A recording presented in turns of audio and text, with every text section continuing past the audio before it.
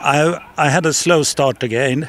I was struggling to get the feel for the shots, and uh, obviously I was two over par after six holes, and uh, I was a little bit worried.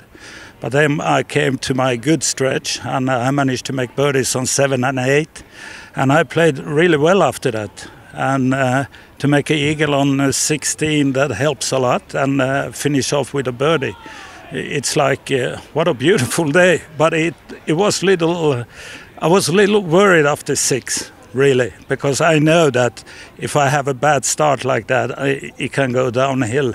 Many times uh, over the years, when you have a bad start, it ends up really bad, and uh, it's always good to have these weeks when you have a bad start and you can uh, get back there and uh, play really well and have a good score.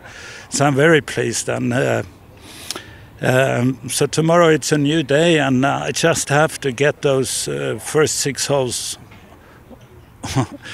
to to a good start and uh, see what happens. Well, uh, the club, uh, I had a gap wedge on the 13, and uh, on the third hole I hit the gap wedge on the par three. I pulled it left really badly, so now I miss hit the ball to the right, so I was plugged in the bunker.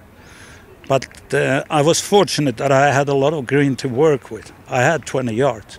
So I know that over the years that I hit it uh, steep on the ball, uh, on the sand, and it pops up. And it actually did that on the putt. I think that was a game changer.